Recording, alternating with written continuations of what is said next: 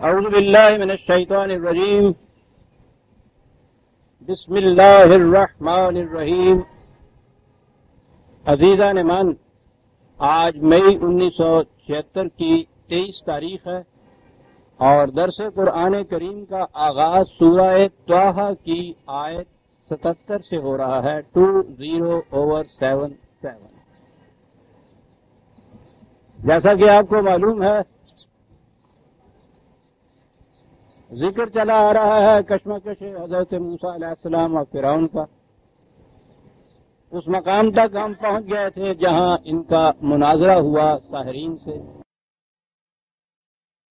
وہاں کے مندر کے ان پروہتوں نے جب حضرت موسا علیہ السلام کی طرف سے پیش کردہ دلائل و براہین پر غور کیا، تو وہ ان کے مسلک اور دین کی صداقت کے قائل ہو گئے اور وہیں انہوں نے اعلان کر دیا۔ اپنے ایمان لانے کا اور اس پہ فرعون جس انداز سے بھڑک اٹھا وہ پچھلے درس میں ہمارے سامنے آیا آ چکی۔ یہ سلسلہ وہاں ختم ہوا۔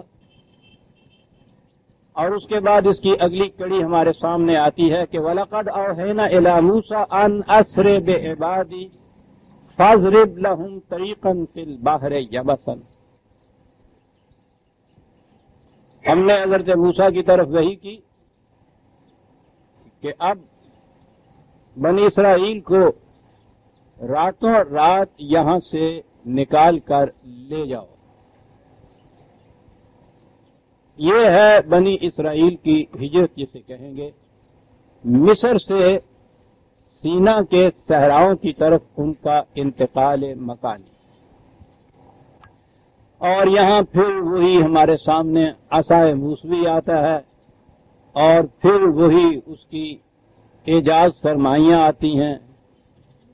وہ قرآن کریم میں ہے، فضرب بے اصاکل باہر ترجمہ اس کا کیا جاتا ہے کہ اپنے اصاؤ اور سونٹے سے سمندر کو مار اور وہ پھٹ جائے گا، دو حصوں میں بٹ جائے گا۔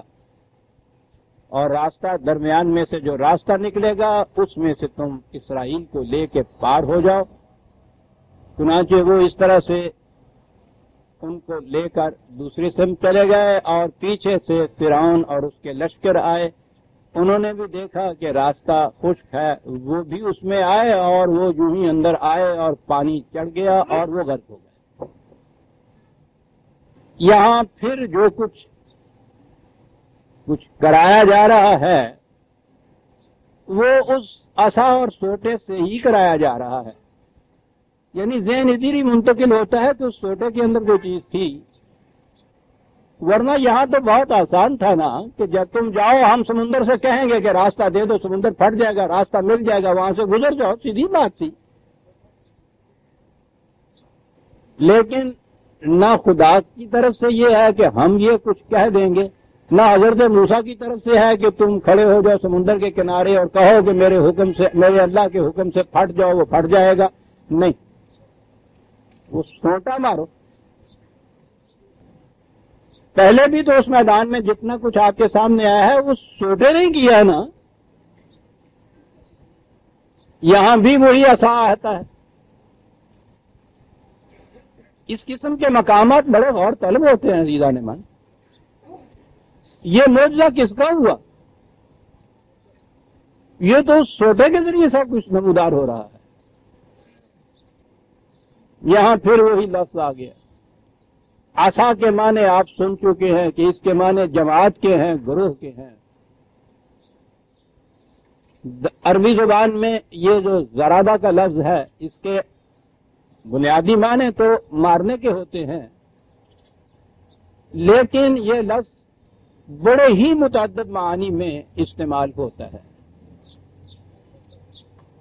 ان معانی میں ایک معنی ان کے ہاں ہوتا ہے۔ ذرا فی الارض کے معنی ہوتا ہے سفر کرنا۔ قرآن کریم میں متعدد مقامات پر یہ لفظ ان معنوں میں آیا ہے اور استعمال ہوا ہے۔ ذرا تم فی الارض، یہ بھی ہے۔ قدر بو فی الارض، یہ بھی ہے۔ متعدد مقامات میں ان کے ہاں یہ عام بولا جاتا تھا۔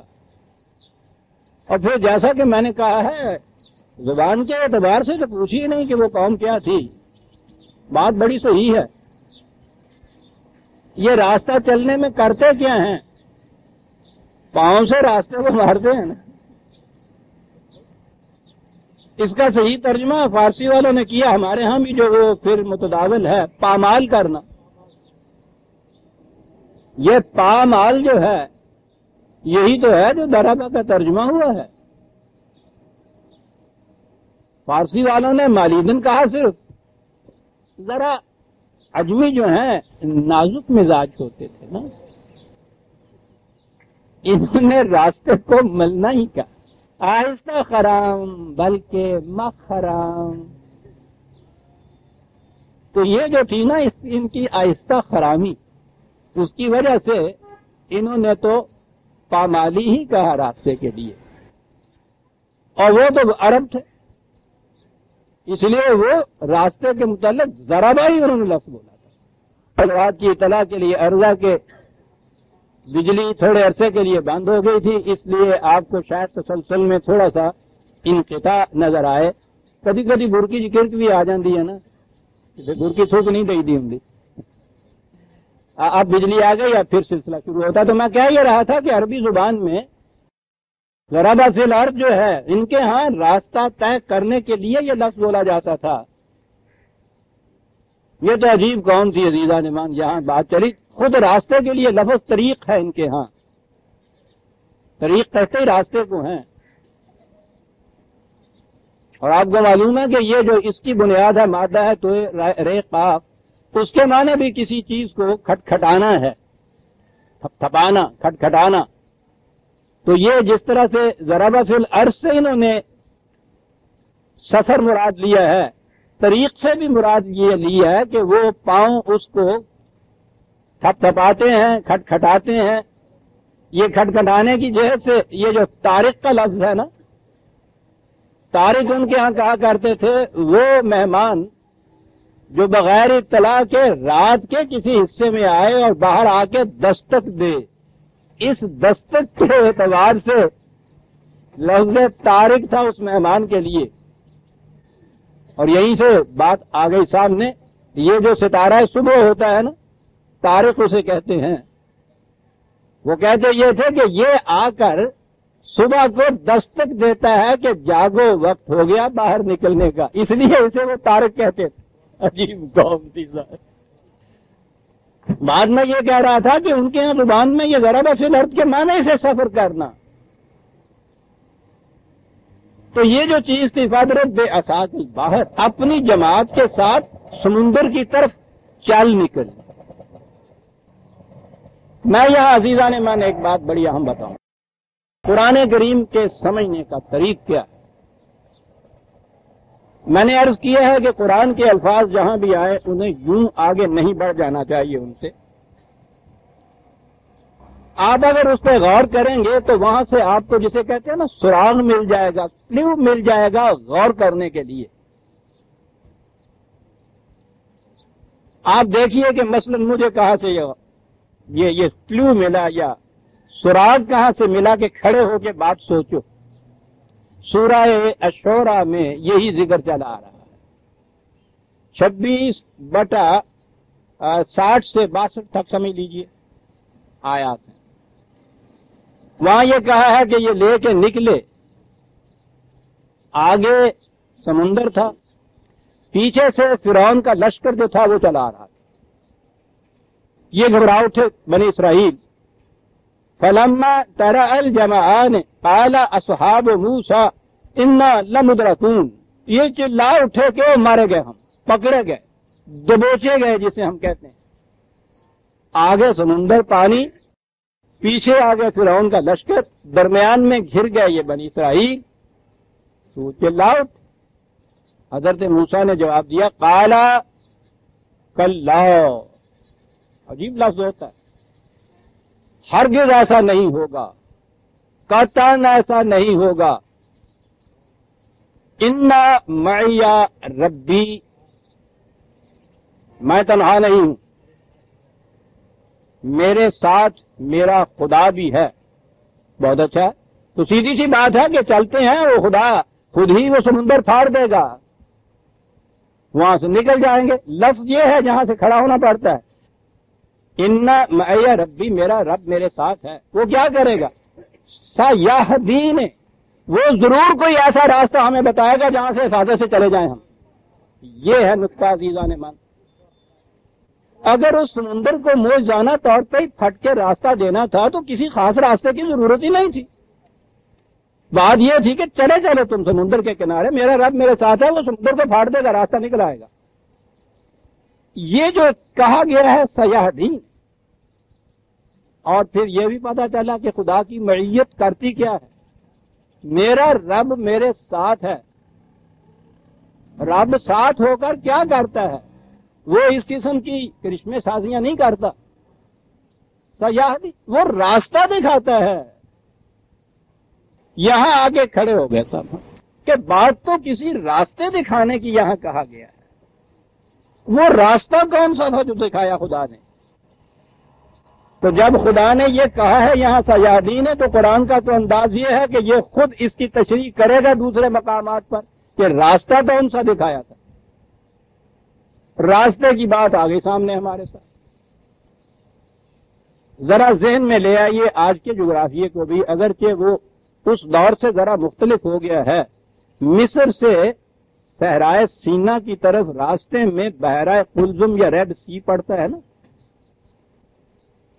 آج تو ریڈ سی کے اگلے سرے کو بحرا روم سے ملا دیا گیا ہے۔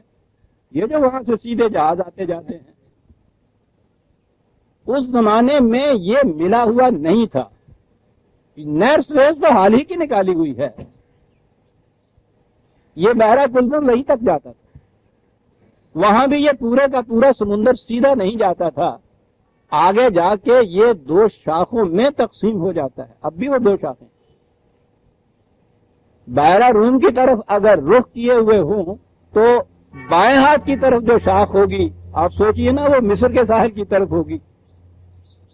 دائیں ہاتھ کی شاخ سینا ادھر کی طرف ہوگی، جہاں اب یہ فلسطین وغیرہ، یہ بنی اسرائیل وغیرہ ہے ان دونوں کے درمیان جو جگہ تھی انہوں نے وہاں جانا تھا۔ وہ ہے سینا کا سہرا ادھر سے وہ شاخ جو تھی دائرہ کلزم کی ذہن میں رکھ رہے ہیں نا آپ۔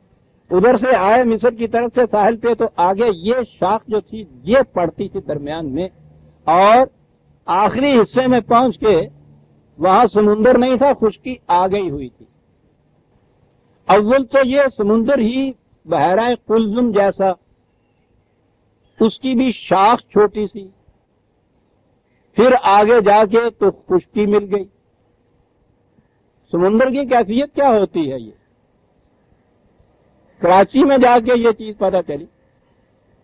مد جزر یا جوار بھاٹا یا ٹائٹ جسے آپ کہتے ہیں، وہ اس کے بیچ پہ، کنارے پہ کھڑے ہو کے آپ دیکھیے۔ حالانکہ وہاں سمندر اتنا زیادہ طوفانی تو نہیں ہوتا۔ زیادہ جوش نہیں اس میں ہوتا، بڑا خاموش سا ہوتا ہے، وہ سکوت اس میں بھی کیفیت یہ ہوتی ہے کہ جب وہ وہاں مد آتا ہے، پانی چڑھتا ہے، بڑی دور تک چلا جاتا ہے، وہ چڑھ کے پانی۔ اور پھر جب اترتا ہے، تو وہ نیچے سے خشک زمین ابھرا نظر آ جاتی ہے۔ یہ میں نے جو پہلے لفظ کہا ہے، ابھر آتی ہے۔ کیا بات ہے ان اربوں کی؟ یہ تو صحرا کے رہنے والے تھے۔ کبھی کبھی جاتے تھے، سمندر دیکھتے تھے۔ سمندر میں انہوں نے اس کو بھی دیکھا، جس نے دیکھا۔ انہوں نے سمجھا یہ کہ یہ زمین کبھی اونچی ہو جاتی ہے اور کبھی یہ نیچی ہو جاتی ہے۔ تو یہ جو تھا نا، زمین کا اونچا اور نیچا ہونا، یہ اسے سمجھتے تھے کہ یہ ہے جس کی وجہ سے کہ یہ پانی جو نیچے ہو جاتی ہے تو آگے آ جاتا ہے ابھر آتی ہے تو پیچھے چلا جاتا ہے۔ یہ جو تھا نا، پانی کا اوپر آ جانا، نیچے چلے جانا، جب نیچے چلے جانا تو خشک زمین کا ابھر کے سامنے آنا۔ اسے یہ لوگ رے، ہے، واؤ مادہ ہے رہون کہتے تھے۔ ایسی جگہ جہاں کسی وقت زمین نیچی ہو جائے، وہی مد و جزر کا۔ اور پانی بڑھ آئے۔ اور دوسرے وقت میں وہ زمین ان کے خیال کے مطابق ابھر آئے، پانی پیچھے ہٹ جائے۔ اب یہ جو خدا نے راستہ دکھایا ہے، چوالیس بٹا چوبیس۔ کہا یہ موسا سے وہی الفاظ ہیں اثر بے عبادی لیلن رات کے وقت ان کو لے کر نکل جا۔ پیچھے تیرے تو یہ لوگ آئیں گے ان کو متبعونا لیکن راستہ انہوں انہیں کہا، کدھر سے جاؤ؟ وقت روکل باہر راہون۔ وہاں جاؤ جہاں راہون کی کیفیت ہے۔ وہاں جاؤ۔ اور یہی وہ الفاظ یہاں آئے، جو آئے زیر نظر ہے ہمارے بیس بٹا ستہتر۔ فد رب لہم تریقن فل باہر یبسن ان کو لے چل اس راستے کے اوپر جہاں وہ سمندر یبسن یابس تو آپ کو پتا ہے، خشک ہوتا ہے۔ پھر دیکھیے اس زبان کی کیفیت۔ جو چیز شروع شروع سے خشک ہو یہ اسے یابس نہیں کہتے یبس نہیں کہتے۔ یبس ہر اس چیز کو کہتے ہیں جو کبھی تر ہو اور پھر خشک ہو گئی ہو۔ وہی راہون یہ جو بار بار عزیزہ نے من قرآن نے زور دیا ہے اور بار بار میں دہراتا ہوں یہ عربی زبان جو ہے عربی مبین، اس میں جائیے، قرآن بول اٹھے گا تصریف آیات کی روح سیادی میرا رب دکھائے گا تمہیں راستہ۔ راستہ کیا دکھائے گا؟ اس طرف لے جاؤ ان کو جہاں وہ جوار بھاٹے کی کیفیت، مد و جزر کی کیفیت ہے۔ کبھی وہ تر ہوتا ہے، کبھی خشک ہوتا ہے، کبھی چڑھاؤ ہوتا ہے، کبھی اتار ہوتا ہے پانی کا۔ اترا ہوا پانی جب ہو، اتنی سی تو وہ جگہ سی درمیان والی۔ وہاں سے لے کے ان کو نکل جاؤ۔ اور اس کے بعد جب وہ فرون کے لشکر آئے، تو اس وقت تو وہ وہی کیفیت تھی، ذرا اترا ہوا۔ وہ یہ سمجھ کے کہ خشکی ہے، یہاں سے تو وہ سامنے پار گئے ہیں، ان کا سامنے نظر آ رہے تھے وہ۔ سعود العظیم قرآن کہتا ہے، پورا ٹیلے کا ٹیلا ان کا نظر آ رہا تھا سامنے، کنارے پہ۔ تو انہوں نے کہا ہم بھی اسی طرح جائیں گے، وہ نیچے اترے تو اتنے میں وہ ٹائٹ کا جو ٹائم اینڈ ٹائٹ ویٹ پر نن انگریزی میں کہتے ہیں نا، کہ یہ مد و بھی جو ہے کسی کا انتظار نہیں کیا کرتا تو وہ اترے ہیں تو وہ پانی کے اوپر چڑھنے کا وقت آ گیا۔ وہ غرق ہوگا یہ جو قصہ تھا نا سمندر کے پھٹنے کا، یہ تورات میں تھا چلا رہا بہرحال جب سے بھی وہ تورات مرتب ہوئی، اس وقت تک اس میں یہی قصہ چلا آ رہا تھا۔ قرآن کریم نے یہ چیز کہی وہاں کہ اس سمندر کا پھٹنا نہیں، بلکہ وہ تو وہ راستہ تھا جہاں سے اس کو لے کے گئے تھے۔ آپ حیران ہوں گے عزیزہ نعمان یہ قرآن کا اعجاز ہے۔ تورات کا اب لیٹسٹ ایڈیشن جو شائع ہوا ہے امریکہ سے، اسے چند سال ہی ہوئے۔ اس میں انہوں نے ترجمہ بھی بدلا ہے اور اس کے نیچے نوٹ یہ دیا ہے کہ جہاں سے حضرت موسا علیہ السلام نے پار کیا تھا، وہ بحرہ کلزم کا، وہ سمندر کا راستہ یہ نہیں تھا۔ اس کے آخر میں وہ گئے تھے اور وہاں بہت سا سرکنڈا اگا ہوا تھا۔ تو سرکنڈا تو سمندر کے اندر نہیں اگتا، وہ اس کے، اس کنارے پہ اگتا ہے جہاں پانی آئے جائے۔ تو انہوں نے لکھا یہ ہے کہ اسے ریڈ سی نہیں، بلکہ سی آف ریڈز کہتے ہیں۔ سرکنڈے سرکنڈے والا سمندر۔ انہوں نے اب تورات میں یہ لکھ دیا ہے کہ اب تحقیق جدیدہ نے یہ بتایا ہے کہ وہ یہ جو ریڈ سیڈ سیلف تھا، اس کے اندر سے نہیں، بلکہ اس کے اس شاخ کے کنارے سے، اس مقام سے گئے تھے، جسے سی ایف ریڈز کہا جاتا ہے۔ وہاں کچھ دلدل نماسی زمین تو تھی، سمندر والا پانی اس وقت نہیں تھا۔ یہ وہاں سے لے کے اور پار گئے تھے۔ تو رات میں انہوں نے اب اس چیز کی ترمیم کی ہے۔ قرآن نے چودہ سو سال پیشتر کہا تھا عزیزہ نے من جب دنیا میں کسی نے بھی یہ بات نہیں بتائی تھی کہ وہ تو رہون اور یبسن کا طریق تھا جہاں سے وہ لے کے گئے تھے۔ انہوں نے تو اپنے ہاں وہ ترمیم کر لی۔ آپ کے یہاں دستور وہی کچھ کہے چلے جا رہے ہیں۔ یہ کیوں ہے؟ وہ تو تحقیق کے قائل ہیں، غور و فکر کے قائل ہیں، نئی نئی باتیں لے آتے ہیں۔ لیکن آپ کے ہاں تو متقدمین جو لکھ چکے ہیں، ان سے ایک انچ ادھر ادھر ہٹنا جو ہے، وہ بھی کفر۔ متقدمین کے جغرافیے میں جو ان کے یہاں پڑھایا جاتا تھا، اب مجھے پتا نہیں پڑھایا جاتا جو نہیں، تین ہی بر اعظم تھے۔ اس زمانے میں آسٹریلیا اور امریکہ ابھی دریافت نہیں ہوا تھا۔ وہ آج تک تین ہی بر اعظم والا جغرافیہ چلا جا رہا ہے، صاحب۔ وہ کہو بابا جی تو پانچ ہو گئے، انہوں نے کہا نہیں، یہ متقدمین کے طریق کے خلاف ہوگا ایسا کہنا جو ٹھیک ہے جی۔ انہوں نے تورات میں ترمیم کر دی۔ ٹھیک ہے، انہوں نے اپنی انڈیپینڈنٹلی تحقیق کی ہوگی، میں نہیں کہہ سکتا۔ یہاں آپ کے یہاں چودہ سو سال پیشتر سے یہ لکھا ہوا قرآن کریم کے اندر۔ لیکن قرآن کی جو تفسیر کر گئے ہیں امام تبری، اس میں چونکہ لکھا ہوا ہے کہ سمندر پہ ایسا مارا ہٹ گیا اور وہ وہاں سے لے گئے، اس سے نہیں ہم ہٹ سکتے۔ بھائی قرآن میں یہ لکھا، کہنے گے ٹھیک لکھا ہے چھوٹا مارا تھا تو خشک ہو گئی زمین، یہی لکھا قرآن نے، اور کیا لکھا؟ ٹھیک ہے جی؟ اور پھر یہاں تصویر میں تو پوچھے نہیں، وہ جو زیب داستان ہے وہ بڑی چیز ہوتی ہے۔ لکھا یہ ہے کہ وہ فرعون کا لشکر وہاں آ گیا کنارے پہ، تو وہ گھوڑوں کو بڑھا رہے تھے۔ اور ہارس سینس تو آپ کو معلوم ہے نا، گھوڑے کی حص بڑی تیز ہوتی ہے۔ وہ ان کا گھوڑا جو تھا فرعون کا، وہ آگے نہیں بڑھتا تھا۔ رک گیا۔ محسوس کر لیا ہوگا کہ خطرہ ہے۔ تو یہ ساری اسکیمیں فیل ہو رہی تھی۔ سمندر کا باٹ دینا، ان کو لے جانا، مقصد تو ان کے گرد کرانے سے تھا۔ اور ان کا گھوڑا جو تھا، وہ اس سے بھی کاریگر نکلا۔ نہیں آگے بڑھ رہا۔ جبریل علیہ السلام آئے، گھوڑے پہ سوار ہو کے۔ اور انہوں نے اپنا گھوڑا آگے بڑھا دیا۔ اور گھوڑوں کا انداز ہوتا ہے کہ اگلا گھوڑا اگر آگے بڑھے، تو اس کے پیچھے پیچھے پھر ان کے گھوڑے جو تھے، یہ بھی چلے۔ اور پیچھے سے حضرت میکا عیل ان کو ہانک رہے تھے چاپوں سے۔ چلو، ڈبو، سوری۔ جی یوں نہ لے گئے۔ یہ جبریل اور ان کا گھوڑا یا گھوڑی جو آگے گئی، اس سے بھی ایک موجہ سرزد ہوا۔ لیکن وہ چار آیتیں آگے جا کے آتا۔ ابھی نہیں بتانا چاہتا، وہ تو آپ جانتے ہیں نا کہ وہ پہلے سے آؤٹ ہو جائے پڑتا تو لطف نہیں رہتا اس میں، لطف۔ مجھے یاد ہے اب تک نام نہیں لوں گا مولانا، حضرات کا دلی میں وہ گئے۔ تو انہوں نے اپنے باز میں وہ شعر بہت پڑا کرتے تھے۔ تو انہوں نے وہاں حالی کا وہ جو وہ جو مشہور مسدس کا ہے، یہ تھا سب پہلا کتاب خدا کا۔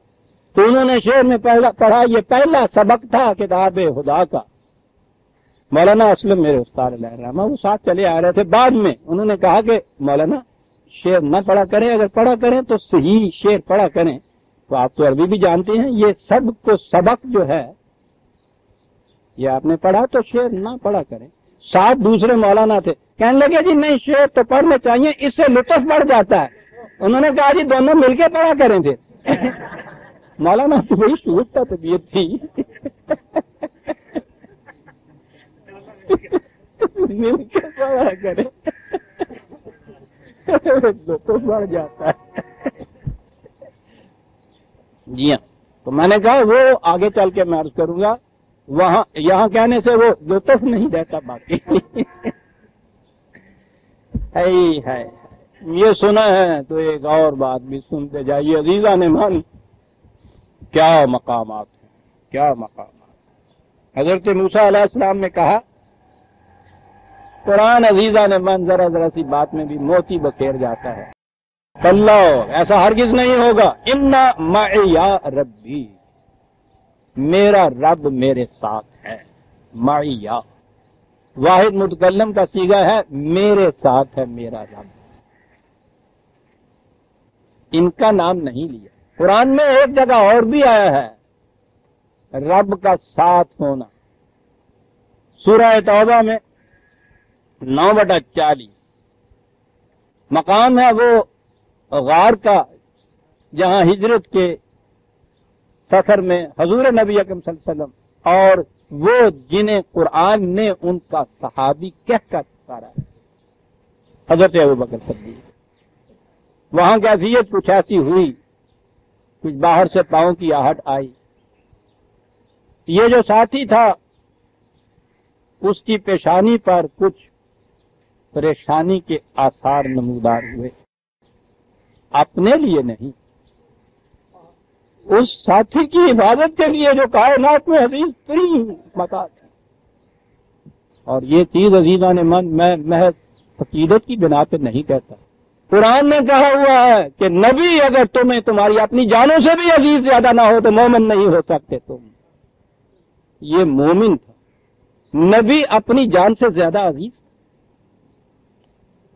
کچھ گھبراہٹ کے آثار۔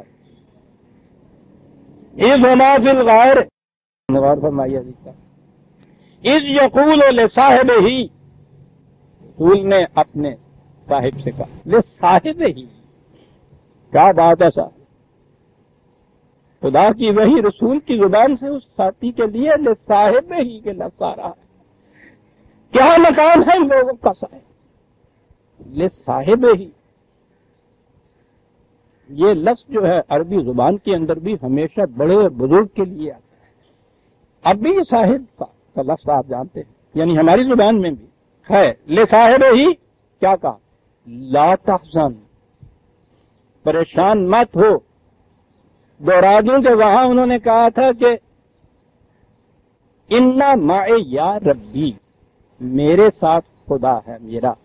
کہا کہ لا تحزن، نہ مت۔ ان اللہ مانا، ہم دونوں کے ساتھ خدا ہے۔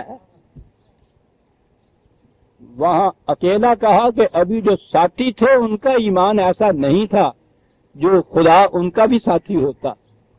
وہاں اکیلے موسا ہی کا ساتھی تھا مایا ہے، یہاں وہ ہے کہ خود رسول اللہ صلی اللہ علیہ وسلم۔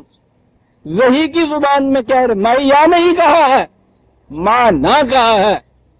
دونوں کے ساتھ خدا تھا۔ عزیزان من سعادت ساتھ ساتھ دے تو قرآن پڑھا۔ ان اللہ مانا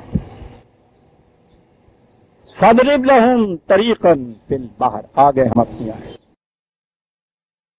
طریقن فل باہر جاؤ لے کے اپنے ان ساتھیوں کو اس راستے کے اوپر جو تمہیں وہاں لے جائے گا، جہاں دریا کا پانی خشک ملے گا۔ جہاں خشک راستہ ملے گا اور وہ راستہ خشک ہوگا رہون کے ذریعے سے، یاد رکھنا۔ وہاں جا کے وہاں کنارے پہ نہ بیٹھے رہنا۔ وہ اتنی سی دیر کے اندر پیچھے ہٹ کے آ جایا کرتا ہے، رہون دوسری جگہ کہا۔ لا تخاف درکم ولا تخشا انہوں نے کہا تھا نا ساتھیوں نے، ان لمد رکھوں کہ آگے ہم گرفت میں۔ نہیں۔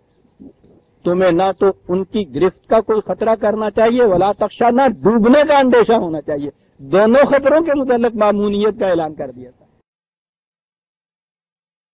تو ہوں پھر و بے جنود ہی تو ہوں میں نل میں ماں غشیا ہوں وہ فرعون آگے گیا۔ کیا ہوا تھا کیا ہوا پانی نے ڈھانپ لیا ان کو۔ جیسے پانی ڈھانپا کرتا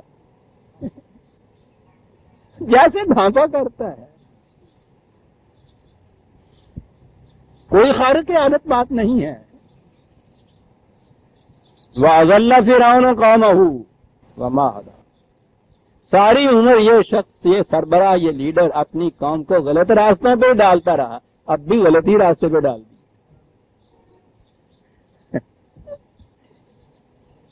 یہاں پھر مخاطب کیا نبی اکم صلی اللہ علیہ وسلم کے زمانے کے یہود کو، یا بنی اسرائیل کا انجائے نا کم میں نہ بنی اسرائیل، تم دیکھو تو صحیح کس قدر ہماری نعمتوں نے تمہیں سرفراز کیا تھا۔ اتنے بڑے دشمن سے کس طرح سے نجات تمہیں ملی؟ وبادنا کم جانے بتور اور وہاں سے لے گئے تمہیں ہم تور کے اس دامن میں وہ بڑی بابرکت زمین تھی۔ یمن و سعادت والی تھی۔ امن و سکون والی تھی۔ وہاں لے گئے۔ اس قسم کے دشمن کے فولادی پنجائے استبداد سے رہائی کو بھی قرآن کریم نے خدا کی نعمت قرار دی ہے۔ یہ صرف اس کی غلامی اور استبداد کے پنجے سے چھوٹنا رہا ہونا ہی ہے۔ یہ حصہ لائی ہے حقیقت میں ابھی۔ یہ وہی نعمت ہے خدا کی، وہی بخشائش ہے خدا کی، جو آج سے ستائیس، اٹھائیس سال ہمارے حال پہ بھی اس نے نوازش فرمائی تھی۔ فرعون جیسی ایک مستبد قوم کے پنجہ استبداد سے، بلکہ عزیزہ نے من فرعون جیسی نہیں، یہودیوں جیسی دنات اور کمین کی فطرت والی قوم، بھارت کے ہندوؤں کے، اس سازش کے پنجے سے چھڑا کے لے آنا با یہاں۔ ہم جینا گم من ادو گم قرآن نے اسے نعمت خدا بندی قرار دیا لیکن کہے کے لیے دیا لیکن ذرا کیفت آمد یہ محض اس لیے ہے کہ وہاں تمہارے لیے اس کا امکان نہیں تھا کہ تم بتا سکے، تک سکتے کہ ہم کیسے کام کرتے۔ جب کہا جاتا تم کہتے کہ صاحب ہم تو غلامی کے شکنجے میں جکڑے ہوئے، ان کے معقوم ہیں، ان کے ماتحت ہیں جیسا یہ حکم دیتے ہیں، ہم کرتے ہیں، ہمیں امکان ہی نہیں ہے۔ لیکن ذرا کیسا تھا ہم اس طرح سے آزادیاں دلا دیا کرتی ہیں کام کو، تاکہ دیکھیں کہ تم کیا کام کرتے ہو، کیسے کام کرتے ہو۔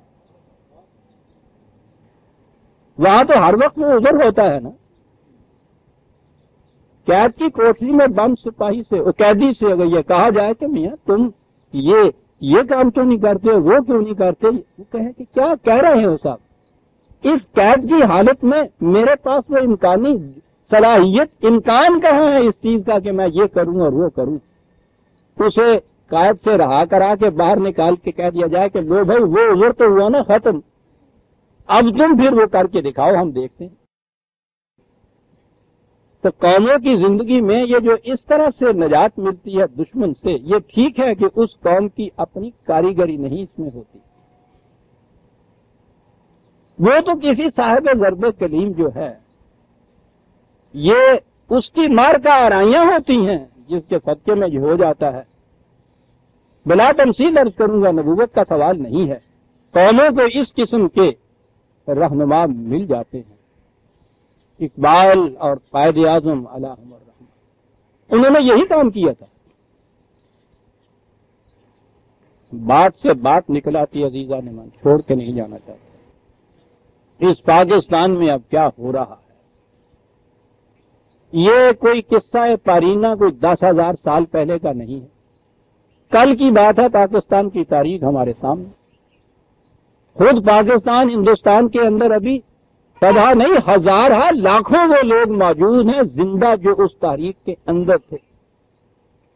یہ بندہ درویش خود ان میں سے ہے۔ سیدھی سی بات۔ ہزاروں ہمارے میرے اس مجمع کے اندر ایسے لوگ بیٹھے ہیں جنہوں نے سب کچھ دیکھا۔ ساری دنیا یہ جانتی ہے کہ وہاں جماعت اسلامی مودودی صاحب نے سخت ترین مخالفت کی۔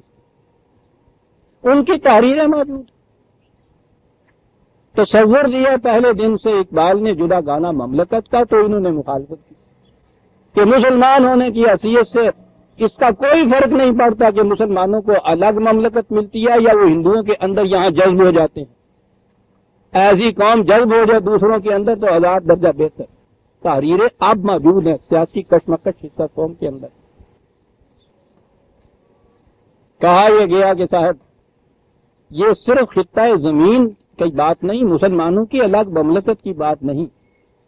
انیس سو تیس سے لے کے اقبال اڑتیس تک کہتا گیا اور قائد اعظم نے جب اپنے ہاتھ میں قیادت لی تو انیس سو سینتیس سے سینتالیس تک وہ ہر تقریر و تحریر میں کہتے گئے کہ مقصد اس سے کسی خطۂ زمین یا الگ مملکت کا حاصل کرنا نہیں ہے۔ ایک ایسے خطۂ زمین کا حاصل کرنا ہے جہاں ہم قرآن کے مطابق مملکت متشکل کر سکیں۔ سینکڑوں صفحات پر مشتمل ان کی یہ تقریریں، تحریریں آج بھی موجود ہیں، سب پہلے دن سے یہ موجود انیس سو چالیس کا ریزولیشن موجود۔ انیس سو اکتالیس مدراس میں دہرایا گیا، خطبہ صدارت قائد اعظم کا اتنا بڑا موجود۔ انیس سو تیس کا اقبال کا خطبہ صدارت موجود۔ ہے سب یہ کہتے ہوئے چلے گئے صاحب انہوں نے۔ انہوں نے اس سیاسی کشمکش میں شروع سے آخر تک زور دیا کہ یہ ایک کافرانہ حکومت بنے گی، یہ ان کے الفاظ۔ مسلمانوں کی کافرانہ حکومت۔ کہا یہ یہ چیز جو تھی، میں نے عرض کیا ہے کہ یہ ان مضامین میں یہ لکھتے چلے آئے۔ یہاں آنے کے بعد، اب یہاں کوئی منہ دکھانے کے قابل نہیں رہ سکتا کہ جو شخص دس سال تک ایسی مخالفت کرتا چلا آئے کہ اسے مسلمانوں کی کافرانہ مملکت کہے، اس سے بڑی مخالفت اور کیا ہو سکتی ہے؟ یہاں بڑی دشواری تھی۔ کیا کہتے؟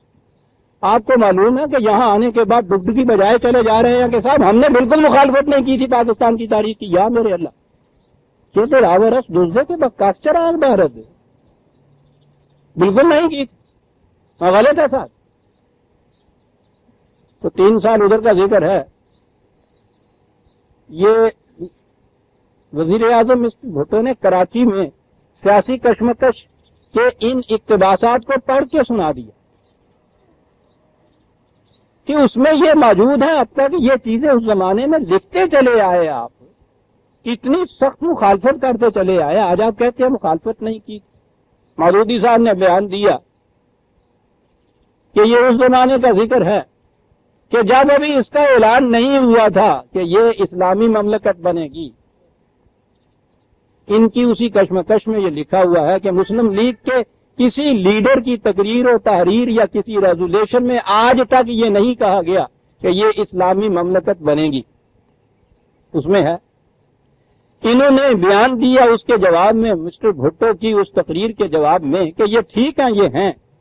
یہ اس زمانے کی بات ہے جب ابھی یہ اعلان نہیں ہوا تھا انیس سو چالیس کا کہ یہ اسلامی مملکت بنے گی۔ چیز اللہ سے یہ لکھا جاتا ہے؟ بڑی معقول بات نظر آتی ہے۔ وہ ایک تو یہ کہ یہ اس سے پہلے کیا، دوسرے کے جب وہ ہو گیا تھا ریزولیشن پاس، تو پھر نہیں کی ہم نے مخالفت۔ طلوع اسلام میں اس کے جواب میں لکھا گیا مسلسل سے کہ یہ جو آپ نے لکھا ہوا ہے کہ مسلم لیگ کے کسی لیڈر نے یا مسلم لیگ نے آج تک یہ نہیں کہا، جسے آج آپ کہتے ہیں کہ انیس سو چالیس کے ریزولیشن سے پہلے کی بات ہے، یہ ترجمان القرآن فروری اور مارچ اکتالیس میں لکھا ہوا ہے۔ لاہور ریزولیشن کے ایک سال بعد۔ یہ کتاب جس میں موجود ہے، پہلا ایڈیشن اس کا اگست اکتالیس میں شاید ہوا۔ اس کے متعدد ایڈیشن آج تک شائع ہوتے چلے آ رہے ہیں۔ یہی کچھ اس میں ابھی تک لکھا ہے، اس میں کوئی ترمیم نہیں کی گئی۔ چالیس سے سینتالیس تک جو آپ کہہ رہے ہیں کہ ریزولیشن پاس ہونے کے وہ بعد نہیں مخالفت کی تھی، پہلے کی بات تھی۔ مسلسل ہر سال، ہر مقام پر یہ دہراتے چلے گئے۔ کافرانہ اور فاسقانہ۔ مسلسل سات آٹھ سال تک۔ حتیٰ کہ اپریل انیس سو سینتالیس میں جب پاکستان اور ہندوستان کا فیصلہ ہو گیا تھا تقسیم کا، یہ مملکت وجود میں آنے والی تھی۔ تین جون کو اعلان ہو گیا تھا۔ یہ اپریل انیس سو سینتالیس میں غالباً سولہ سترہ یا چھبیس ستائیس تاریخ ہے، ٹانک میں ان کا جلسہ ہوا۔ ان سے مودودی صاحب سے ان کے ہی لوگوں نے سوال کیا کہ اب تو ہمیں ساتھ دے لینا چاہیے اس مسلم لیگ کا۔ اب تو یہ وجود میں آ رہی ہے یہ چیز۔ اپریل سینتالیس عزیزہ نے من۔ جواب دیا کہ جب آپ اور ہم مانتے ہیں کہ یہ تحریک غیر مسلمانہ ہے، غیر اسلامی ہے، اس میں آپ کس طرح توقع ہم سے کر سکتے ہیں کہ ہم ان کا ساتھ دیں؟ اپریل سینتالیس میں، تین دن کے بعد پاکستان وجود میں آ رہا۔ پاکستان وجود میں آ گیا۔ وہ نیشنلسٹ علماء اور وہاں کے وہ کانگریس ٹائپ جتنے تھے انہوں نے حمیت اور غیرت کا ثبوت دیا، وہ وہاں رہے، کیونکہ مخالفت کر رہے تھے۔ یہ پوری جماعت وہاں سے اٹھ کے چلی آئی۔ یہاں آنے کے بعد ان کا پہلا پرچہ جون اڑتالیس میں شائع ہوا، ترجمان القرآن۔ اس میں انہوں نے تحریک پاکستان کا پورا جائزہ لیا ہے، جون اڑتالیس کا پرچہ۔ جائزہ لینے کے بعد کہا یہ ہے کہ یہ داستان ان لوگوں کا منہ کالا کر دینے کے لیے کافی ہے، جنہوں نے دس سال کو ہم کو تباہ کر دیا وہاں۔ یہاں آنے کے بعد۔ اگست انیس سو اڑتالیس میں اسی کا پرچے کا دوسرا نمبر شاید ہوا۔ اس میں یہ چیز لکھی انہوں نے کہ یہ آبرو باختہ لیڈر ارشف آپ کی، یہ مداریوں کا ٹولہ، یہ کام کو تباہ کر کے یہاں لے آیا تھا۔ نہ ہم یہاں کے رہے، نہ ہم وہاں کے رہے۔ یہ میں نے گزارش کیا ہے کہ انیس سو سینتالیس تک ہندوستان میں ہی نہیں، اس کے بعد پاکستان بننے کے بعد بھی یہ چیزیں موجود ہیں۔ اعلان وہاں وہ جواب دیا جاتا ہے کہ وہ مخالفت میں نے اس زمانے میں کی تھی جب ابھی ریزولوشن سن چالیس کا پاس نہیں ہوا تھا۔ ان پہ تو افسوس نہیں۔ یعنی ساری جماعت کے اندر کوئی ایک رجل رشید نہیں جو اٹھ کے کہے کہ صاحب، کیا آپ ہم تو باہر منہ دکھانے کے قابل نہیں رہیں گے؟ یہ جو کچھ آپ کہہ رہے ہیں، یہ کر رہے ہیں۔ جواب کیا تھا اس کا؟ جواب یہ تھا کہ زندگی کی بات ضروریات کے لیے جھوٹ بولنا شرم واجب ہو جاتا ہے۔ یہ تو واجب ہو گیا تھا۔ یعنی یہ نہیں کہ اجازت ہوتی ہے۔ آپ کو معلوم ہے، واجب جو ہے شریعت کے اندر فرض کے بعد واجب کا لفظ ہوتا ہے۔ اور ترک وجود جو ہے، یہ بھی بڑا گناہ ہوتا ہے۔ یعنی اگر ایسے موقع پہ سچ بول دیا جائے تو خدا کے یہاں پکڑا جائے گا۔ بولتے رہے۔ دڑلے سے یہاں کہہ دیا کراچی میں کہ یہ اس زمانے میں میں نے کیا تھا۔ پھر سب لے پروپیگنڈے کی مشینری اتنی بڑی ہے اتنے زور سے وہ ڈھول بجاتے ہیں کہ توتی کی آوازیں کو سن نہیں پاتا۔ اور ان توتیوں کو اس طرح ویٹ پینٹ بنا دیا ہوا ہے کہ کوئی بات سن نہیں نہ پائے۔ اور وہ چلی جائیے بات کر ہم نے مخالفت نہیں۔ چار دن کی بات ہے یہاں۔ انہوں نے پہلے ایک اجلاس میں وہ جو وکلا کانفرنس ہوئی تھی مئی کے شروع میں۔ وہاں بانیان پاکستان کے متعلق یہ چیز کہہ دی کہ وہ سارے کے سارے ہی ایسے ہی تھے، بد اخلاق تھے، وہ چاہتے ہی نہیں تھے شریعت یہاں، قانون شریعت کا نافذ ہو، یہ وہ جو ان کا انداز ہے سب کہنے کا۔ اس پہ کچھ ملک میں لے دیتی ہوئی۔ تو اس کے تین چار دن کے بعد موجودہ امیر جماعت اسلامی میاں توفیل محمد صاحب نے یہ بیان شاید تقریر کی اپنے ہی جلسے میں۔ اس تقریر میں یہ کہا کہ پاکستان تین شخصیتوں نے بنایا۔ اقبال، مادودی صاحب، قائد اعظم۔ ہم نے کہا، چلو صاحب، تیسرا حصہ ہی صحیح ان بیچاروں کے حصے میں کچھ تو آیا۔ تشریح ملازہ فرمائیے کہ ان کا دونوں کا حصہ کیا تھا۔ کہا، اقبال نے تو صرف یہ کہا تھا کہ مسلمانوں کی الگ مملکت ہونی چاہیے۔ بس۔ یعنی جیسے اور مملکتیں ہیں، ان میں ایک اور مملکت ہونی چاہیے۔ اور انہوں نے اس کے خلاف لکھا تھا کہ مسلمان ہونے کی حیثیت سے میرے نزدیک کوئی اہمیت اس کو نہیں ہے کہ مسلمانوں کی الگ مملکت یہاں بن جائے یا ہندوؤں کے اندر یہ جذب ہو جائیں۔ اقبال نے تو اتنا ہی دیا تھا۔ انہوں نے جب ڈانٹ دی تو اس کا تو دم نکل گیا، وہ تو چلے گا ہڑتی تھی کہ میں کیا کر بیٹھا؟ رہ گئے دو۔ اس کے بعد کہتے ہیں کہ پاکستان کا نظریہ جو اس کی بنیاد ہے، وہ مودودی صاحب نے دیا اور قائد اعظم نے اس نظریے کے مطابق یہ مملکت حاصل کر دی۔ جی انجینئر یہی تھے، وہ تو کیونکہ راج مزدور تھا بےچارا روز رات میں آ جانا سی پوچھنے کی کل یہ کنڈ کس طرح نال اتارنی ہے پھر دستے سن۔ یہ چاہ لکھا ہے، چل۔ وہ ان کے نظریے کے مطابق یہ مملکت حاصل کر رہے تھے۔ تو چاہیے تو یہ تھا نا کہ یہ خود یا اپنی جماعت یہ کہتی کہ بھائی یہ ہمارے ہی نظریہ کی کو کیری آؤٹ کر رہے ہیں۔ ہمیں ان کا ان کے ساتھ تعاون کرنا چاہیے، بلکہ بہت زیادہ ان کے ساتھ آگے بڑھنا چاہیے تھا۔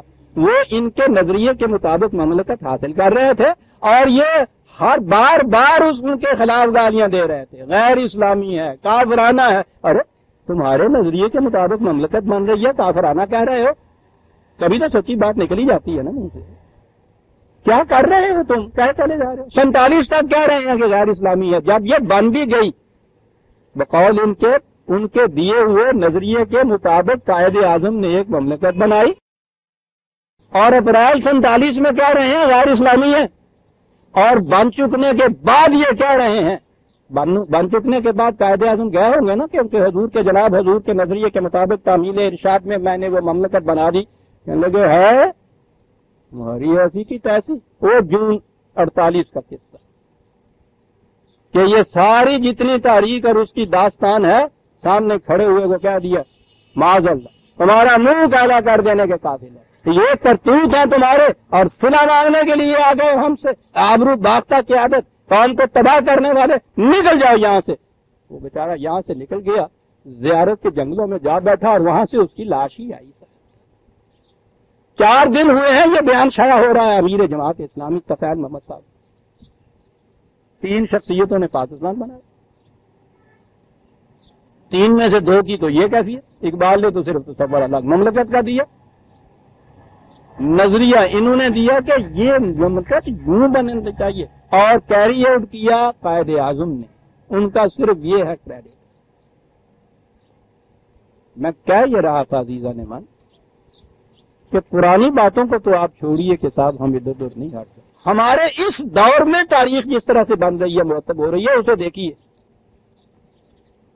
اور ان کی جماعت میں سے کسی ایک شخص نے نہیں اس وقت تک یہ کہا کہ صاحب، کم از کم اتنا جھوٹ تو ہمیں نہیں بولنا چاہیے۔ کتنا جھوٹ۔ خود مادودی صاحب سے یہ سوال ہوا یہاں کہ آپ نے اس تاریخ پاکستان میں اس مملکت کے بنانے میں کیا حصہ لیا تھا؟ ان کا جواب موجود ہے کہ یہ ٹھیک ہے کہ یہ پاکستان مسلم لیگ ہی نے پاکستان کو حاصل کیا تھا۔ اس کا سیرا ان کے سر ہے۔ ہمیں اعتراف ہے کہ ہم نے ان کا ساتھ نہیں دیا تھا۔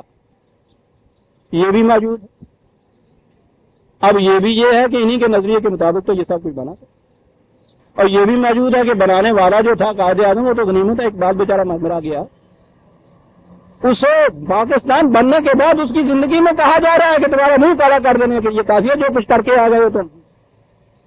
معذم کل کو تاریخ انہی کے ہاتھوں سے مرتب ہوگی۔ عزیزہ نعمان جتنی کتابیں اس وقت مساج کی پڑھائی جا رہی ہیں اسلامیات کے نام سے جو سازش ہو رہی ہے، انہی کی کتابیں۔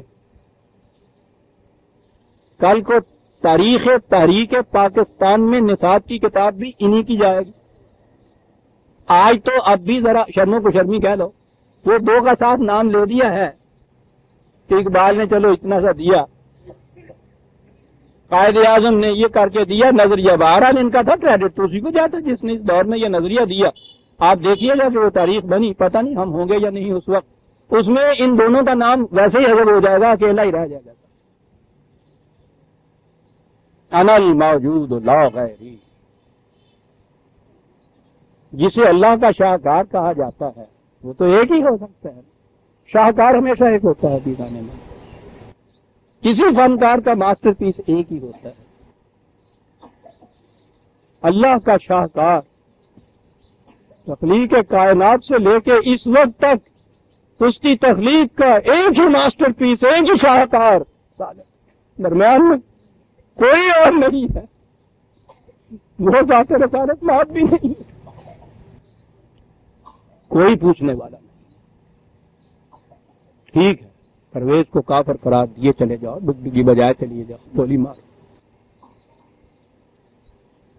تو اس ساری ملک قوم کے اندر کوئی رجل رشید نہیں ہے۔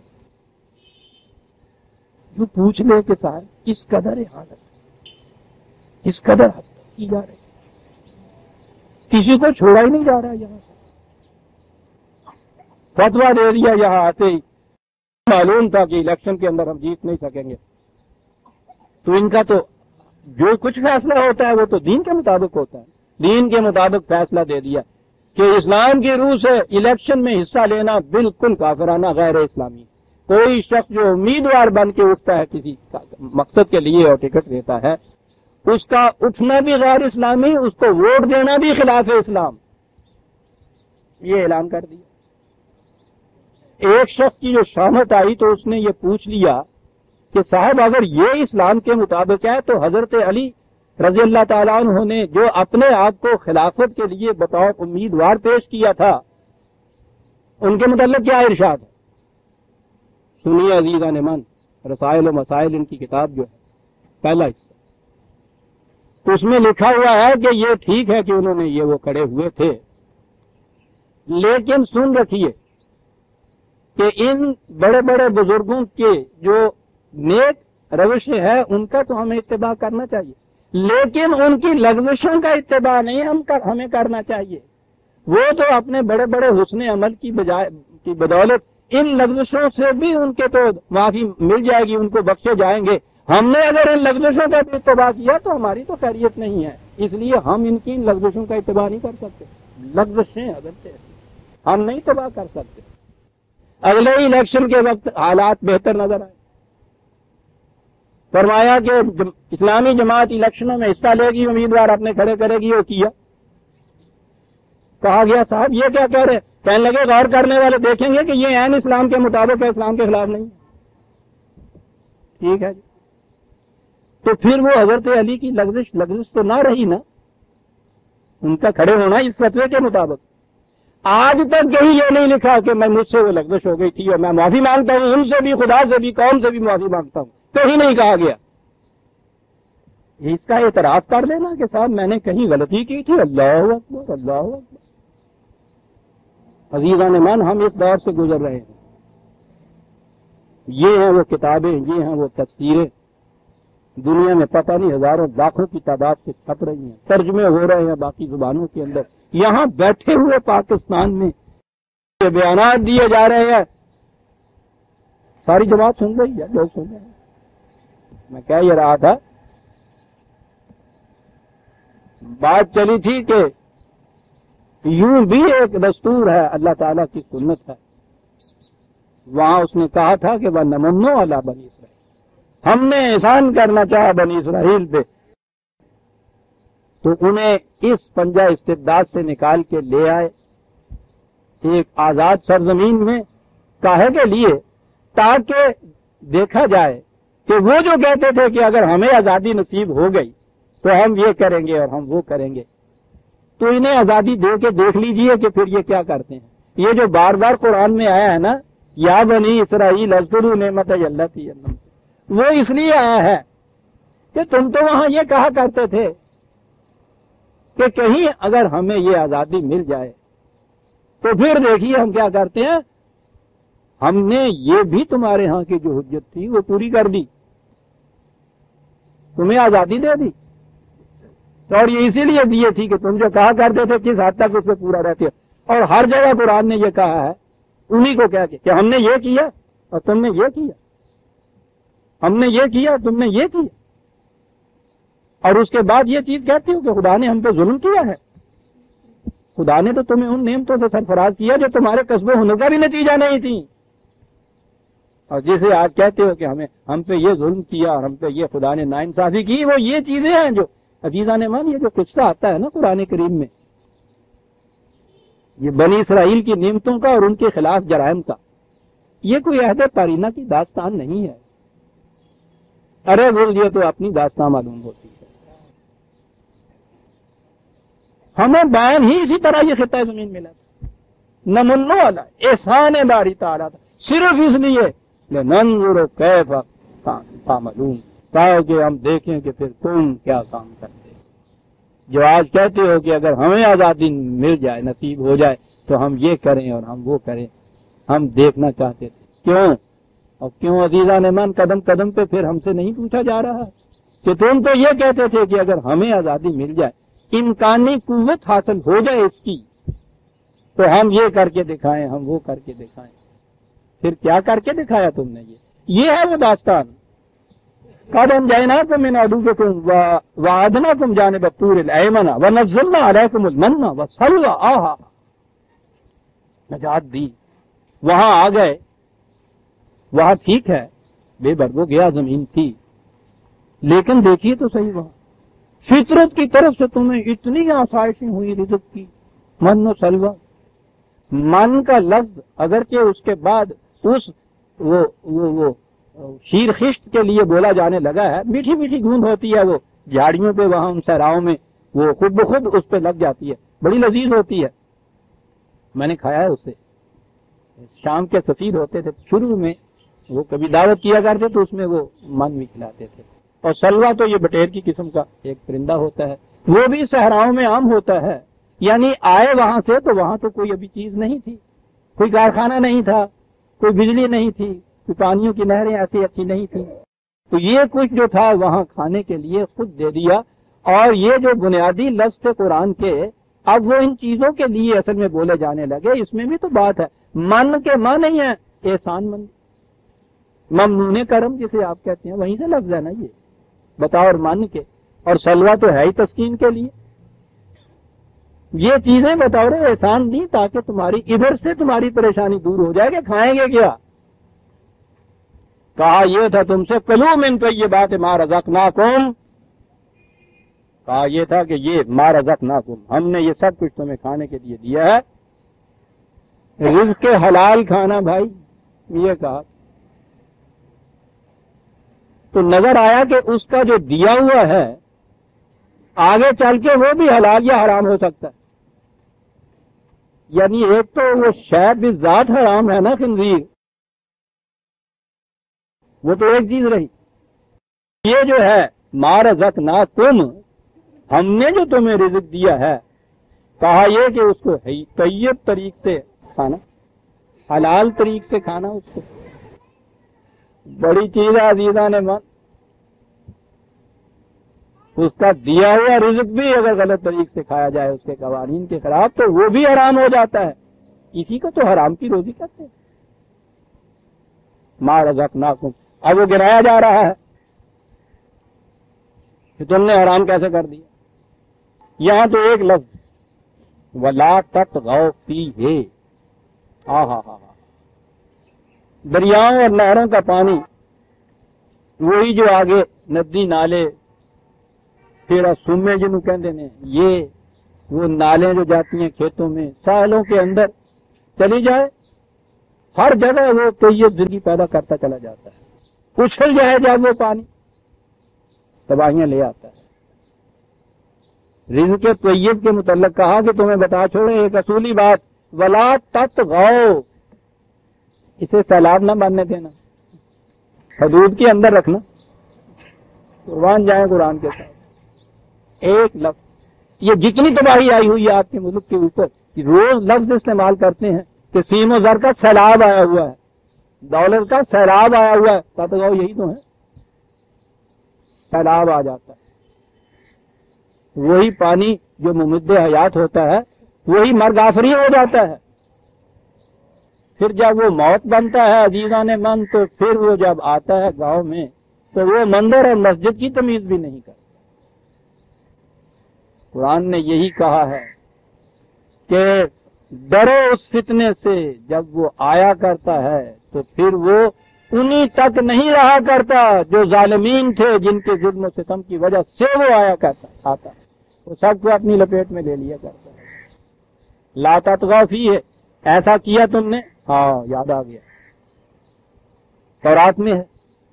تعریف شدہ کتابوں کے اندر بھی کہیں کہیں بچے کھچے آثار ایسے ملتے ہیں۔ کہ حضرت موسا علیہ السلام نے کام سے کہا تھا کہ جاتے ہو باہر۔ وہ باہر کھلی ہوئی جھاڑیوں کے اندر رزق بکھرا پڑا تھا۔ وہاں سے اکٹھا ہی کرنا تھا نا۔ یہ جو پرندے وہاں پھر رہے تھے، ان کو پکڑنا ہی تھا نا۔ اور آدمی آئے کہ حضرت موسا نے ان سے کہا علیہ السلام کہ جاؤ یہ اکٹھا کرو۔ اکٹھا کرنے کے بعد یہاں لا کے رکھو۔ اور ان میں سے ہر شخص اتنا لے کے جائے جتنے آدمی اس نفر اس کے کیمپ کے اندر ہیں۔ یہ نہیں کہ جتنا تم اکٹھا کر لو، سارا لے جاؤ وہاں، وہ تو لاؤ یہاں۔ اور اس میں سے ہر فرد کی ضرورت کے مطابق لے کے جاؤ۔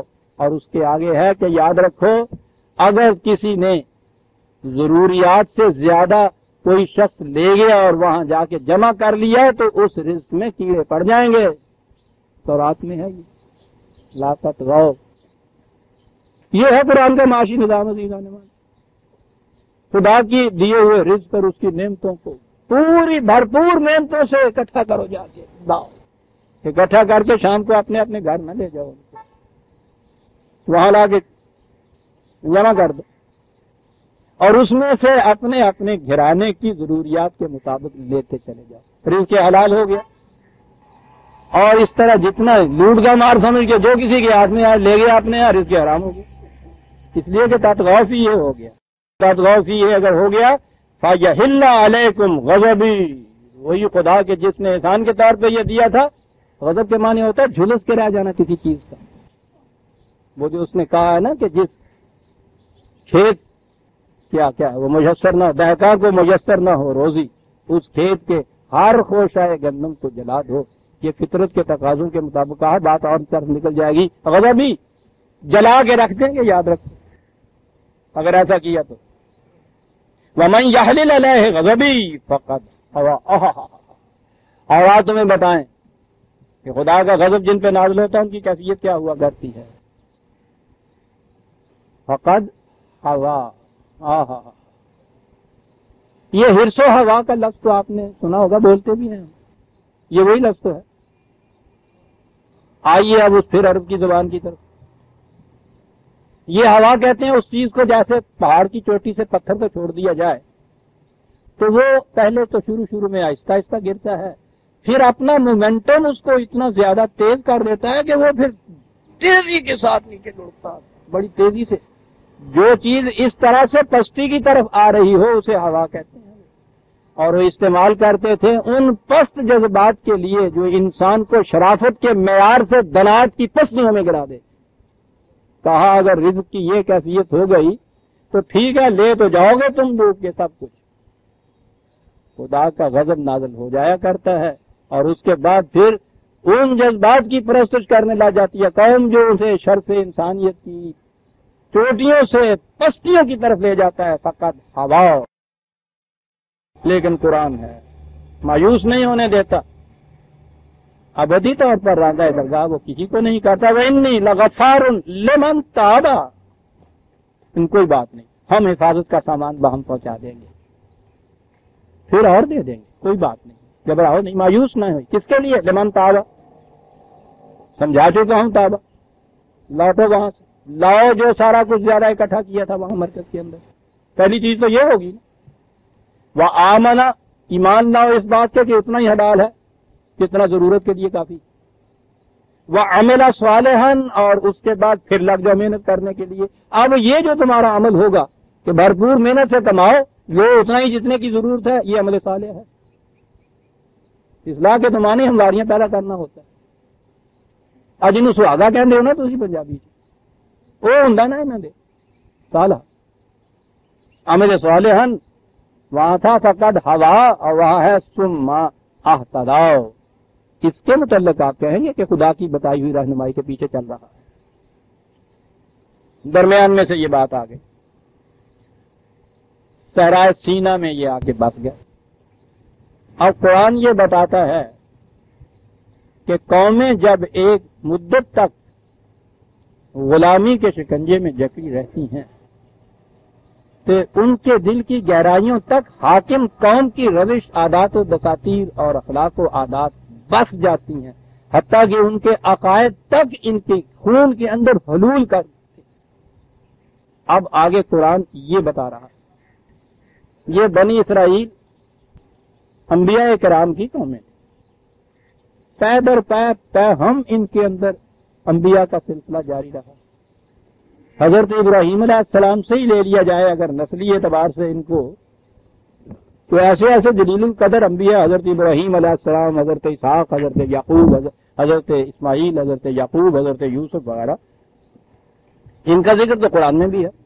اور یہ تورات کے اندر جن کو انہوں نے اپنے پروفٹس یا نبی کہہ کے پکارا ہے، بہت سے ہیں جن کا نام ہے، ان کے صحیفے بھی موجود ہیں۔ تو گویا یہ قوم تھی، انبیاء کی قوم جنہیں کہا جاتا ہے۔ وہاں انہوں نے اپنا تشخص بھی الگ برقرار رکھا تھا۔ یا شاید یوں کہو کہ اس حاکم قوم نے ان کو اچھوت بنا کے بنا چھوڑا تھا کہ ان پہ حکومت تو کرے۔ بہرحال یہ الگ قوم کی حیثیت سے موجود تھی۔ بچی کھچی صحیح انبیاء کی تعلیم بھی موجود مصر، مصری جو تھے سفتی یہ بت پرست۔ ان کے یہاں سب سے بڑا بت ہوتا تھا، پورس، جس کا جس کا سر گائے کا یا بیل کا یا سانڈ کا ہوتا ہے۔ آگے چل کے آؤں گا تو میں عرض کروں گا، یہ جو قرآن کریم میں ہے نا ازیر کا ذکر۔ یہ اسی بت کا نام تھا ان کے ہاں۔ اوسرس انگریزی میں اس کو کہتے تھے، یونانی میں بلکہ۔ بہرحال یہ اسی پوجا کیا کرتی حضرت پوسا علیہ السلام انہیں نکال کے لے آئے۔ اور قرآن کریم میں یعنی کتنا بڑا احسان ہے یہ صاحب اس کے دس برس سے بچانا، سمندر میں سے اس طرح سے با حفاظت یہاں لے آنا، یہاں آ کے من و سلوا یوں کھانے کے لیے دینا، آزادی کی فضاؤں کے اندر یہ ازن بال کو چھائی دینا۔ یہاں آئے تو قرآن نے جو پہلی بات کی ہے نا، وہ یہ ہے کہ حضرت موسا لے کے چلے آئے۔ پہلا ہی گاؤں جو سامنے آیا، تو وہاں انہوں نے دیکھا کہ وہاں یہ کپتی وہ تو وہاں کی قومیں بستی تھی نا ان میں۔ ان کے ہاں ایک بت ہے اور بت کی پرستش کر رہے ہیں۔ حضرت موسا علیہ السلام کا دامن پکڑ کے بیٹھ گئے کہ موسا ہمیں بھی ایسا بت بنا دو، ہم بھی پرست کریں گے۔ یہ ہوتا ہے معقوم قوم کے اندر۔ وہ غلامی سے یہ عقائد تک ان کے دل میں یوں ہو جاتے ہیں کہ خدا کے ایک اتنے عظیم قدر پیغمبر سے درخواست کر رہے ہیں کہ ہمیں بھی بت بنا دیجیے عزیزہ نے مان ابھی تو انہوں نے درخواست کی ہے کہ بت بنانے کا سامان نہیں تھا۔ ذرا آگے چلیں گے۔ تو ہم دیکھیں گے کہ جب بت بنانے کا سامان وہ موسا تو نہیں بنا کے دیا علیہ السلام۔ ڈانٹ دی۔ لے چلے۔ ان کا کوئی بات نہیں۔ ذرا آگے چلو۔ ہم خود بنا لیں گے بت، نہ بنوا کے تو۔ آج تو بیٹ، میرے بھائیوں بات یہاں سے شروع ہو گئی۔ کہ جب انہیں بت بنانے کا سامان میسر آیا، تو پھر انہوں نے کیا کیا؟ جب سامان میسر آیا۔ حضرت موسا علیہ السلام سے تو فرمائش کی، انہوں نے تو ڈانٹ دیا، بنوا کے نہیں انہوں نے دیا۔ سامان میسر آیا۔ اس زمانے میں معلوم یہ ہوتا ہے کہ بہرحال وہ بت بنائے جاتے تھے یا وہ بہرحال خریدے جاتے تھے۔ وہ ایک بت ہوتا تھا، مندر میں رکھا جاتا تھا۔ وہ جگہ جگہ بت بکھرے ہوئے نہیں ہوتے تھے۔ تو اس لیے جب یہ آگے چلے ہیں تو بت کوئی نہیں تھا۔ اور یہ قوم جو سن سینتالیس میں اس طرح سے کلزم واضح کا پار کر کے یہاں آئی، یہاں تو گلی کوچے میں بت یہاں موجود تھے فلاں حضرت صاحب کا مزاق فلاں کا جھنڈا، فلاں کی خبر فلاں کا یہ قصہ پہلے سے موجود تھے وہ اتنا ہی تھا کہ وہ تھوڑے تھے۔ بدھ پرست زیادہ تھے، تھوڑے تھے۔ سن سینتالیس میں یہاں جس قدر مزارات تھیں۔ آج سن چھتر میں دیکھ لیجیے کہ اس کے مقابلے میں کتنی اور زیادہ بڑھ گئی نئے ولی تو پیدا ہوئے نہیں اس دور میں۔ پیدا ہوئے تو اسی طرح سے وہ جو کرامت ہے، حضرت پیر گیارہویں والے کی، چوروں کو تو بنا دینا ہوں نا وہ یہ تو بنے تھے۔ چوروں کو تو وہ مزار والے ولی تو نہیں نظر آئے۔ تو وہ تو بنے نہیں لیکن آپ دیکھیے مزارے کتنے ہیں۔ اور خاص اہتمام سے پھر آپ کے یہاں حکومت کے اہتمام سے یہ محکمہ اوقاف آیا۔ یعنی یہ وہ فرسودہ قبریں بکھری ہوئی ڈھہ رہی ہیں، نام و نشان بھی ان کا نہیں ہے۔ خود زمانے کے تقاضوں سے مٹ رہے ہیں وہ سارے جتنے بھی بتگدے تھے۔ یہ صاحب خود کوشش کر کے نئے سرے سے استوار کر کر کے ان کو سفیدیاں کر کر کے جھنڈے لگا لگا کے عرصوں کے لیے ان کے ہاں ان کے لیے وہ فنڈ جو ہیں، مہیا کیے جاتے ہیں۔ بجائے جا رہی ہیں ڈھوکے قدم قدم پہ بت گئے آپ کے یہاں یہاں سے وہاں تک۔ یہ آپ کو معلوم ہے، داستان بنی اسرائیل بیان کیوں کی جا رہی ہے؟ تازہ بتازہ یہاں پر آ کے جاتے اور یہ تو وہ بت ہے جو آپ کو یوں نظر آ جاتے ہیں، مٹی اور پتھر کے بت۔ وہ بت جو آپ کے ذہن و فکر و خیال کے بت قدوں کے اندر جو ڈھلتے ہیں، ان کا تو پوچھنا ہی کیا ہے سر؟ می تراشد فکر ماں ہر دم خدا بندے دیگر۔ انہیں پہ نہ جاؤ جو مہمان بنا رہے ہیں، یہاں یہ بت کرے۔ میری فکر ہر آن ایک نیا بت تراش تھی۔ رست از یک بند۔ کسی طرح سے کسی ایک بت کی پرستش سے رس کی ٹوٹتی ہے۔ استاد در بندے بگڑ میں دوسرا تلاش لیتا ہوں اس کے سامنے ہاتھ جوڑ کے کھڑا ہو جاتا اور اس بت پرستی کے دائرہ کہاں تک محیط ہے؟ ہاں رحمد اقبال را در کعبہ۔ ہے شیخ حرم، حج کرنے کے لیے تو یہ آ گیا ہے اقبال۔ اسے حریم کعبہ میں نہ داخل ہونے دینا، نہ داخل ہونے دینا۔ وہ کیوں نہ داخل ہونے دیں صاحب؟ مسلمان ہے، حج کرنے آیا، کہتا تمہیں پتہ نہیں ہے۔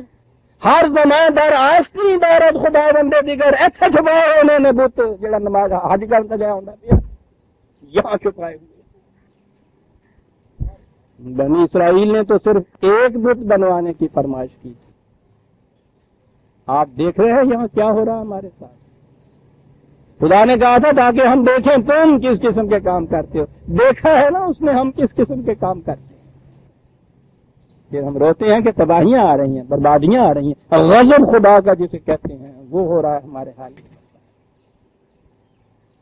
اس کے بعد ان کو ایک موقع ملا اور خود بنا لینے کا بت کے۔ اگلی آت میں یہ چیز وبا جلا کا انکا میں گا یا موسا یہاں سے وہ بات شروع ہوتی ہے، یہ جو پھر انہوں نے خود ایک بت بنایا تھا۔ بنایا نہیں تھا، ان کو بھی بنا کے دیا تھا بت تراش ساتھ ہوتا ہے۔ وہ تو لاتے ہیں ساتھ اپنے چھوڑتے نہیں۔ یہ سارے جتنے بت پرست وہاں بڑے بڑے تھے، اتنی اتنی انہوں نے مخالفتیں مانگتی اس پاکستان کی۔ وہ سارے کے سارے اپنے پیشے اور اپنے کنڈے لے کے یہاں چلے آئے گھڑ رہے ہیں، ایک ایک بت گھٹتا چلا جا رہا ہے یہاں۔ آگے یہ بات آئے گی کہ انہوں نے پھر ان کے لیے خود ان میں سے ہی کس طرح ایک بت تراش کے دے دیا۔ ہم سورہ تاہا کی آیت بیاسی تک آ گئے عزیزہ من تراسی سے ہم آئندہ لیں گے۔ ربنا تقبل منا ان کا انت العلیم۔